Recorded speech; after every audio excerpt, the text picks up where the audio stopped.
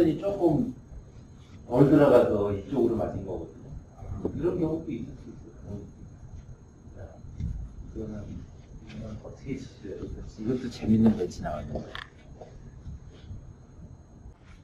이 상황에서 여기를 보내기 위해서는 어- 멈추셨지 어디를 어디로 들어가야 되느냐는 도형을 생각하면 돼요. 여기 맞기 위해선 이 축을 중심으로 똑같은 거리 여기 있죠. 똑같은 거리. 네? 똑같은 거리. 여기에 맞으면 반사되는 거 이게 아, 그렇게 해서 그쪽에서 네. 여기를 똑같은 거리만큼 여기가 목표 지점인데 이것과 이것의 같은 거리만큼 여기 여기를 향해서 치면 이렇게 들어오면 이리로 가는 거예요. 뭐 복잡하게 생각할 필요가 없어요. 그러니까 얘를 맞춰서 여기를 들어서 이렇게 포인트를 향해서 여기가 아니라 실제로 맞는 곳은 이 정도 되겠죠?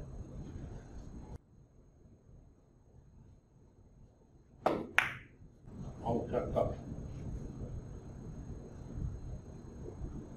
네, 너무 힘이 너무 없어. 조금 못 갔어요. 아우, 좋아네.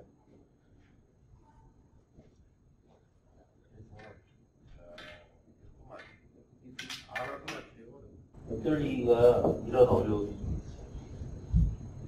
자신이 없지만 저 같은 경우에 옆돌리기를 칠 때 어떤 식으로 생각을 하냐면 이걸 이쪽으로 쳐야 된다면 저는 이쪽으로 치지 않겠지만 이쪽으로 쳐야 된다면 목표 지점은 여기인데 이렇게 쳐서 여기를 향해서 들어가서 여기에 맞추겠다라고 한다는 건 이거는 제가 봤을 때 2분의 1보다 얇아요. 그 2분의 1보다 2분의 1로 쳐서 맞출 수 있는 게 가장 쉬운데 불행하게도 2분의 1보다 얇아요. 그러니까 조금이라도 가깝게 하려면 당점을 높여야 돼요. 왜냐면 여기서부터 여기까지의 거리가 Q가 140cm, 50cm거든요. 여기서부터 여기까지의 거리가 이미 1.5m예요. 그러면 가는 사이에 상단 당점을 주면 가는 사이에 1cm가 됐든 0.5cm가 됐든 이렇게 휘어 들어간단 말이에요. 전진 회전이 있으면. 그러니까 그거 그 성질을 조금이라도 이용해야 내가 2분의 1 두께와 2분의 1 두께로 치는 것처럼 조금 두께를 편하게 칠 수가 있어요. 그래서 당점은 옆 당점이 아니라 올리는 거예요.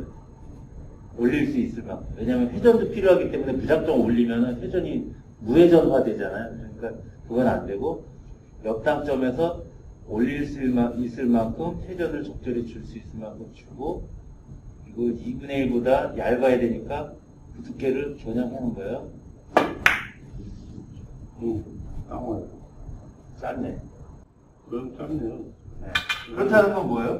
이런 방식으로 치면 2분의 1 두께를 맞춰도 득점이 된다는 거죠. 그러니까 두께를 조금 더 두껍게 쳐도 득점이 된다는 거니까 이 방식이, 이 방식이 두께를 쉽게 칠 수 있는 방법이라는 거죠.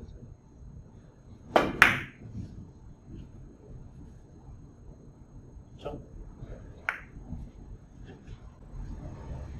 그런데, 그런데 저는 이 배치에서는 이렇게 치지 않을 것 같아요. 왜냐면 이 두께가 좀, 네, 좀 제가 보기엔 이게 좀 어려워요. 이렇게 예민하게 보내는 게.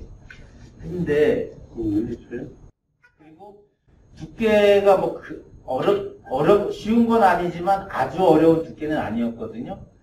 근데 얘를 이렇게 돌리면 장점이 하나 있어요. 빠져서 다시 돌아와서 한 번 더 기회가 또 있거든요. 그래서 이거는 파비안아프 시스템으로 계산을 하면 이렇게 코너링을 돌아갔을 때 여기가 25, 23에서 23에서 20, 저 2나 정도로 하면 코너링을 할 때는 이 정도, 23 정도 다시 또 떨어지거든요. 그러니까 얘를 얘를 쳐서 이렇게 보낸 코너 코너를 돌린다. 코너를 돌린다 하면 그냥 안 맞으면 한 번의 기회가 거의 있으니까 이게 더 확률적으로 좀 쉽지 않을까 싶은데 빠지면 어, 뭐야? 키스가 있네. 한 번의 기회가 더 있긴 음. 있었는데 키스가 이렇게 났죠.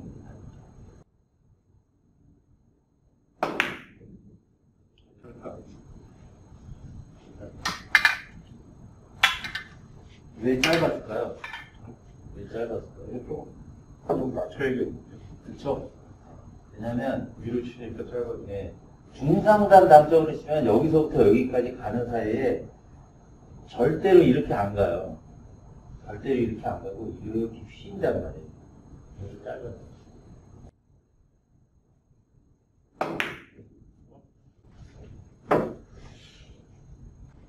이 중단이 되면 안 된다는 거죠. 그러니까. 중단은 아니라는 거예요. 3시보다 낮아야 되고, 그리고 3시보다 낮은 단점을 치는데, 이렇게 치는 게 제일 안 좋은 거예요.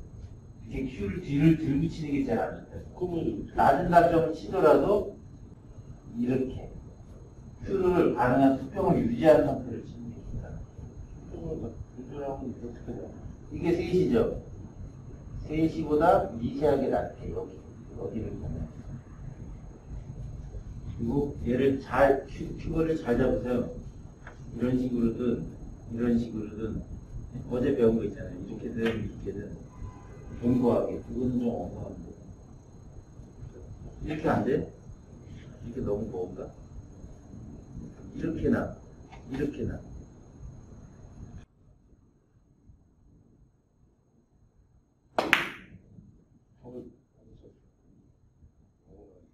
이 빨간 점이 정확하게 3시 방향에 당점이에요. 빨간, 이 빨간 점이. 이 빨간 점, 그러니까 3시 방향의 당점으로 세게 쳐도 절대 여기 못 와요. 왜냐면 휴 들어가요. 중단이잖아. 그러니까 이거보다 미세하게 반드시 낮아서 노란 공에 맞는 순간에 중단 정도로 맞아야지 얘가 이렇게 휘지 않고 이렇게 직선으로 가는 거거든요.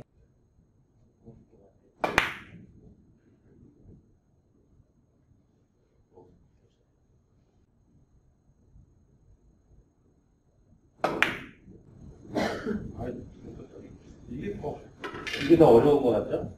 이게 끌어치는 게. 끌어치다, 끌어치다 보니까 어려운 것 같은데. 끌어치는 게 더 어려워.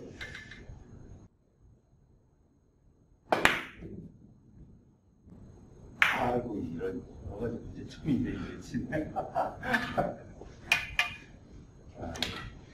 이게 쳐야 되겠네요. 이게 쳐야 되겠어. 이게 치는 게 제일 무난하네. 초보니까 가서.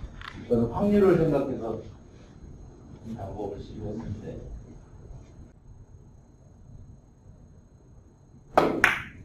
아, 이건, 이건 진짜 그렇지 않- 않거든요?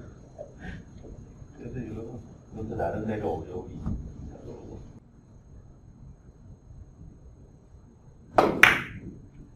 이것도 너무. 오. 오. 이것도 너무. 아까 이거를 칠 때는 아까 말씀드린 것처럼 목표 지점은 여기인데 그 목표 지점은 이렇게 가야 되는데 이 방향에서 딱 보니까 이게 2분의 1보다 반드시 얇아야 된단 말이에요. 근데 다행히, 다행히도 이 거리가 길다 보니까 내가 당점을 올리면 2분의 1 두께를 치면서도 이렇게 휘어, 휘어 들어가서 2분의 1로 맞은 놈처럼 가게 만들 수가 있다고요. 그러니까 당점은 상단으로 좀 올리고 회전은 필요하니까 옆 당점에서 상단으로 올려놓고 2분의 1보다 어, 정확한데. 짧은가? 짧네. 어, 그러니까. 이런 식으로. 이런 생각으로 쳐야 조금씩 조금씩 잘 맞아져요. 어려운 쪽으로 생각하면 안 되고 두께는 2분의 1 기준으로만 생각을 하는 거예요. 2분의 1 기준으로. 그래, 이거 쳤어. 어, 이게 왜, 왜 이렇게 되냐면, 안 좋은, 그러니까 상단을 치는데도, 상단을 치는데도 이게 이렇게 상단이 아니고 이렇게 상단을 치는 거예요. 그러니까 끌리는 거예요. 각도가 이렇게 내려가는 각도를 치기 때문에 끌리는 거예요. 네, 이게 가장 안 좋은 거예요. 왜냐하면, 큐가 이렇게 뒤가 올라가 있잖아요. 그러면 살살 치면 커브 일어나고 세게 치면 끌려버리고 막 이런 현상이 말이에요. 그래서 큐는 가능하면 수평을 유지하는 게 좋은데 수평 정확하게 수평을 유지하면 돼요. 손을 다치기 때문에 그러지는 못하고 손 안 다칠 만큼 이렇게 띄워서 완전 수평이 아니라 큐 하나, 큐 굵기 하나만큼 올라간 요 수, 요거대로만 쳐야 됩니다.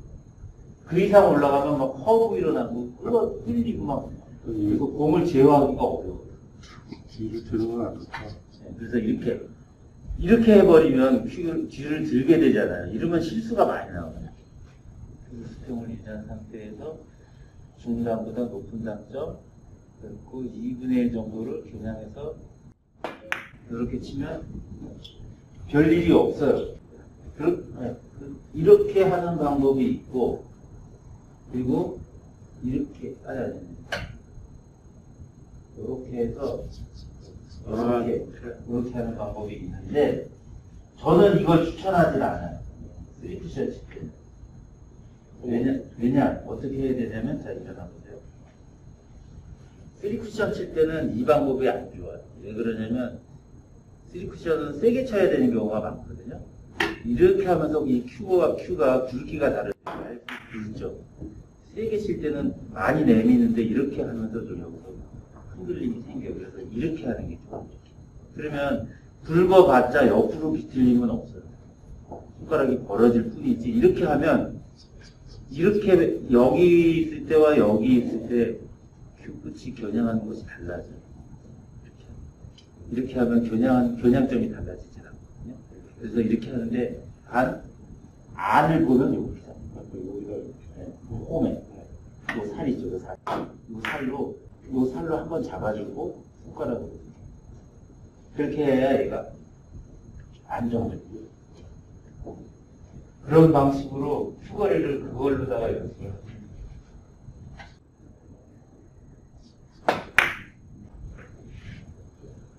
어, 않네. 근데 아직 아직 이게 익숙하지 않다 보니까 그,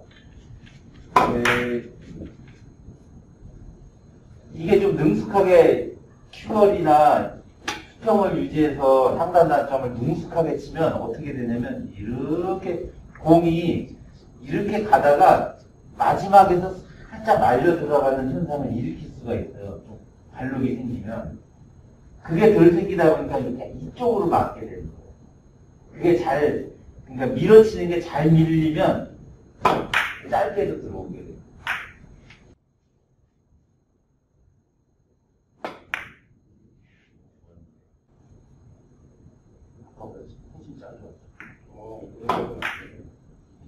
자, 그런데, 그런데 이런 거 이렇게 길게 치는 옆돌리기 칠 때는 하나 회전에 의해서 쿠션에 맞고 내공이 얼마나 벌어지느냐를 조금 이해를 하셔야 되는데